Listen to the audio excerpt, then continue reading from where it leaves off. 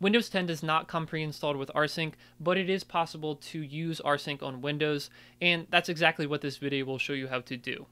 To install rsync on Windows 10, you need something called Windows Subsystem for Linux, and this is just a once and done type of setup. Let's get that set up by running a command prompt as administrator and type wsl install d ubuntu.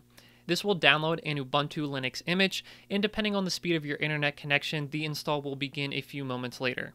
This will happen in a new command window as you can see here.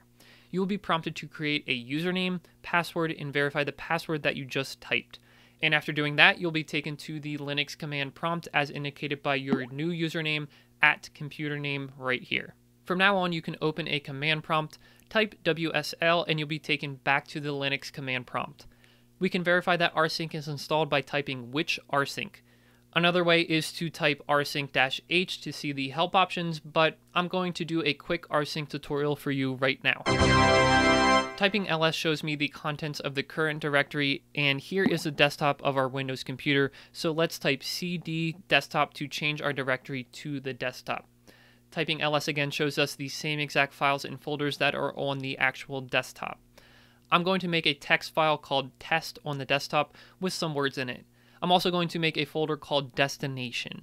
Let's use rsync to copy the test file into the destination folder. Simply type rsync azh capital P test.txt destination, hit enter, and the file will be rsynced to the folder.